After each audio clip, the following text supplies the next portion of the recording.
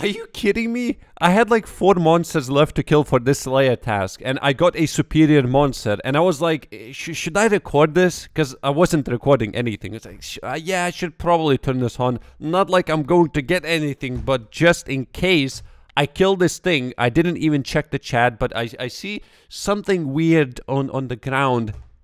I, I just got an imbued heart. I from from cave horror. That I I think the drop rate is like one in eight hundred or something. It's it's a pretty low chance because it's not a high level monster. And I got it. That's why I was not expecting. If I was killing like Darbies or something, that that's where it's like higher chance to get one. It is so weird because currently I'm preparing to kill Zulrah. If you watch my previous videos, for the past one week or so, all I'm doing is trying to complete as many tasks as I can for the Western Province's Elite Diary. And it's it's all for Zulrah. And I get Imbued Heart. That's like one of the best items at Zulrah. You can boost your magic levels, and because Trident scales on your magic level, you can deal more damage and be more accurate. Oh, by the way, for those who don't know, or maybe you didn't read the chat, it's 37 million. It's a very valuable item. It's still more than AGS, like for those people who don't play RuneScape. It's more than AGS at the moment. And if you activate it, your magic level would will go by 10 that is so much it's from 95 to 105 and it's not consumable so you can use this over and over but i think it's every seven minutes or so Oh, this took me way too long. This took me probably 10 hours or so from 72 to level 80 thieving, but finally it's over. For some reason, I really prefer to train agility over thieving. I am no I have no idea why. Like I was watching movies, all I had to do is just click click on the knight like this, you know. It, it's it's fairly AFK. You literally have to do click on, on one spot. That's it. But for some reason, I hate it. So maybe for the past one week or so, I've been trying to unlock my second life at Zulrah. And to do that, I need to complete Western Province's Diaries Elite. So I still have quite a few things to go. And that's why I needed to get to level 80 Thieving and level 80 Agility. Because I need to pickpocket an elf and I need to use the Elven Overpass. And I still have quite a few other things to go. But it's taking so long. Like uh, all I remembered for the past one week is just training Slayer. All, all oh, I just realized I boosted 93 Slayer, but you can't kill thermonuclear smoke devil, I don't think. You see, the reason why I thought it's gonna go faster is because I had cannonballs, and I only needed 3 Slayer levels, from level 90 to 93. But turns out that is 1.5 million experience, and those cannonballs did not last. I think 50,000 lasted maybe for like 800k Slayer experience. So I had to make more. Even at this time, I don't have enough cannonballs. I'll have to go ahead and make more. I have all the steel bars though, but yeah, th this really, really, really takes... Even though I play all day, just takes too long to level up everything. Oh, that, that was pretty close. Of course, I'm killing these Behemoth gnats because they always give the four those spices. I, I don't see the reason to kill... Actually, it may be more efficient to kill smaller ones if in the end you're gonna need all kinds of spices anyway for like diaries and stuff. Look at this guy. How do you think he got that Amulet of Fury? Level 69. Yeah, I mean, he's just doing quests at least. Yeah, he, he wants to get rid of that bracelet. That's a regen bracelet as well. That's like 3 mil, plus Fury, plus whatever he has in the bank as well. That is quite a rich guy. And it just got 85 thieving. Let's teleport. What do you do now? What if I get knocked out? Like, which one's to pickpocket? What do I... No, no, no. I don't. Oh, there we go. That that's the elf that I need to pick. No, please don't fail. There we go. The elite task has been completed, and now all we need is to get. Well, for now, for now, yeah, because we, we're only doing these two for now. This is so weird because I've no idea what the shortcut is for agility. I tried looking up on Google, I tried looking up on YouTube, like look, I typed in Western Province's Elite Achievement Diary. There's no Elite, just hard and easy and medium. Nobody has Elite video. I looked up on Google and people uh, people say just do the overpass. Where is the overpass? Is, is this the one? There's like no agility shortcuts in here. There's no, there's one at Zulrah, obviously it's not the one one is it has to be this one or this one. But 85 agility for these they, they save like almost no time. I wait, this is the shortcut. Are you serious? Wow, that saves so much time. Oh my god, like th this requires 85 agility. I think this one that I uh, first passed, this one literally requires like what is it, like 65 agility and it provides like better benefits than this one. This is so outdated.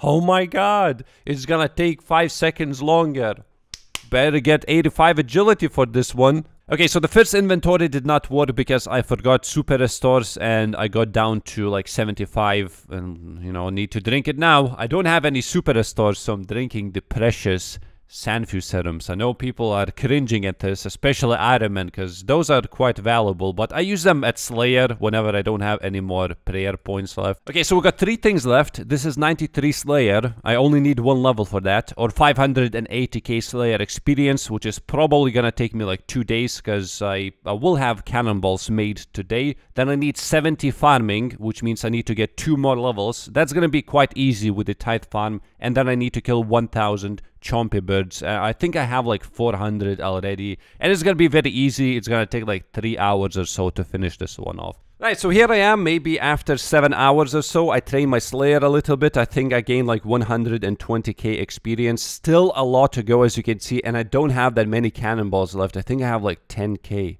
Yeah, and that's gonna be only lasting for like 270k experience. That means I, I will go 200k experience without cannonballs, and that is going to just take a long time to level up. Even if I make cannonballs, like the whole process is going to take a long time. But something that I totally forgot, since I got to level 80 agility, I have collected a lot of marks of grace. This is going to be so many stamina potions made. But before I do that, I need to make some super energy potions because I'm pretty sure eh, I'm, I'm going to be using all of these up. So I need to make more. I have 400 Avantoe.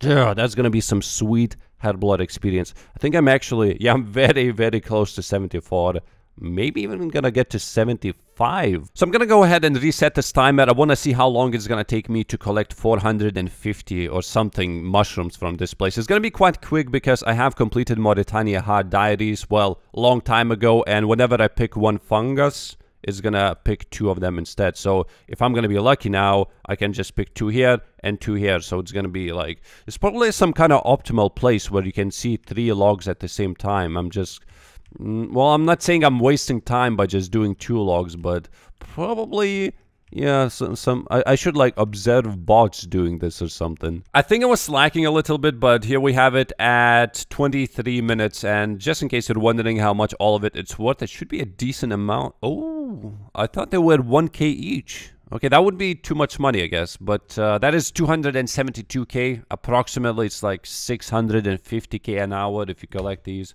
But I was using a Questscape, which takes me there much faster. Well, I guess it is now time to make these potions, so I'll be back once I use all of these Avantoes. Right, that was the last inventory of super energies. I have a lot of them. I don't think I will be able to convert all of them into stamina potions, but what I want to do first before I go and buy those things that you make stamina potions with, I want to make my graceful green, because this is boring. Everyone has this regular graceful, you know, I, I wanna I wanna spice it up a little bit.